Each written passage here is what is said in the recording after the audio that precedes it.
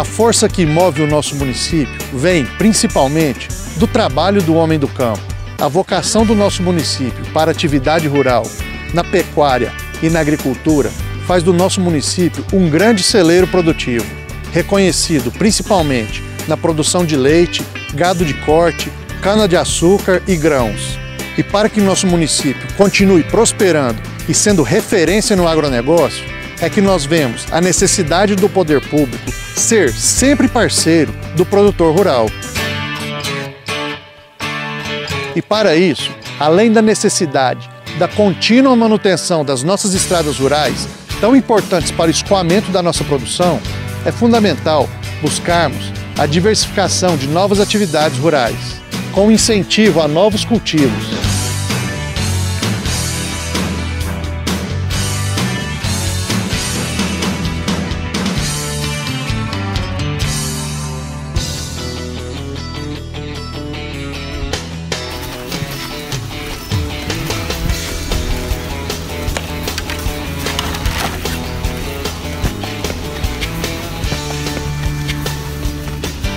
Eu sou neto de um pequeno produtor rural.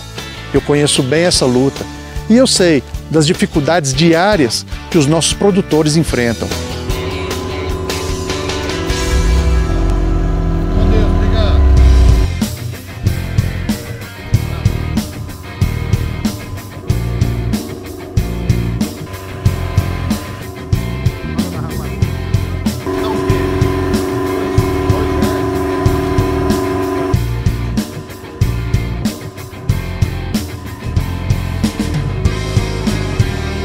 Bom, e como nós estamos falando dessa luta do nosso produtor rural, nós viemos aqui hoje, tivemos a satisfação de ser recebidos aqui pelo Rogel, na sua propriedade, aqui na região da Maia Dalta. Obrigado por nos receber aqui, Rogel. Prazer. Você que está aí todos os dias, né? Na luta. Nessa luta de sempre, você na sua propriedade, produzindo muito, né, Rogel? Isso é. é que é mais importante, com várias coisas, diversidade. diversidade. É produzindo aí leite, você produz aqui a sua rapadura, tem a piscicultura ali embaixo. Isso. Isso é muito bom, né? Conta para nós, como é que é essa luta sua aí, todo dia? Então, Gustavo, a gente tenta levar assim do, mais, mais, mais do jeito melhor.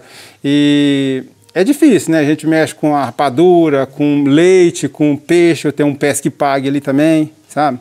Então é, é como se a gente, para mexer só com a só com atividade, um pedaço pequeno igual o meu aqui, então fica difícil para sobreviver. E, então, nós temos que diversificar, sim, três atividades para dar conta de arrancar. Mas isso é bom, Rogério, que mostra que mesmo numa pequena propriedade, em extensão, é. igual é aqui, uhum. você se organizou você é um empreendedor, né? Que é. você faz daqui um pequeno espaço muito produtivo. É. Produz mais do que vários espaços muito maiores. Com certeza. E o que é importante, o que o nosso projeto político propõe ao produtor rural hum. é incentivar que cada vez mais haja diversidade. Hum. Porque quanto mais pessoas empreendendo nas suas propriedades, melhor é a geração de renda para as famílias que produzem aqui. Você funciona mais ou menos no estilo da agricultura familiar, né? Isso. Isso é muito importante. Tanto para o grande produtor, tanto para o pequeno, é muito importante o apoio do, do, município. Isso aí isso ajuda muito. Então, se a gente tivesse um apoio assim, né, é, para ajudar em todos, em todos nesse setor, por exemplo, aqui na, na rapadura, fazer uma venda melhor. O leite, né, graças, graças a Deus, está um, tá andando bem, está um preço mais ou menos razoável. Não está bom, mas está razoável. O peixe também, a gente não tem a, uma, uma, uma, incentivação, né? Então, ajudaria muito. E tendo esse incentivo, facilita muito, né? Nossa, é, com certeza, né? Principalmente para você poder levar a sua produção é. para vender, para chegar ao consumidor. Isso, Isso vai te dar é. um retorno melhor se você tiver o apoio aí. Com certeza. Incentivo de um Sebrae na questão Isso. do empreendedorismo, é. da Emater. É. Isso. Rogério, e nós queremos ser aí um braço forte de apoio ao produtor rural, tá. tanto o pequeno, o médio e o grande produtor, porque a força do campo move o nosso município. E vocês podem ter certeza que nós vamos trabalhar muito para que isso tudo seja realizado com muito trabalho em prol de todo o nosso município. A gente fica alegre, contente de a gente saber que a gente vai ser lembrado nessa hora. Com certeza. nós queremos trabalhar muito e te agradeço mais uma vez por nos receber aqui. É isso. Infelizmente a gente não pode dar um abraço, mas muito obrigado. Não, obrigado. Tamo eu. junto aí nessa Tamo luta. Junto, tamo junto. Seremos grandes parceiros, se Deus quiser. É isso. Muito obrigado. Obrigado.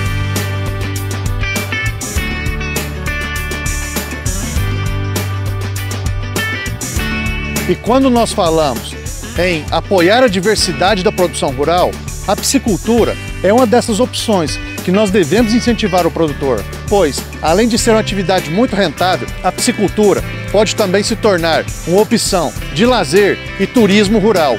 E nós podemos incentivar os nossos produtores a investir nessa área.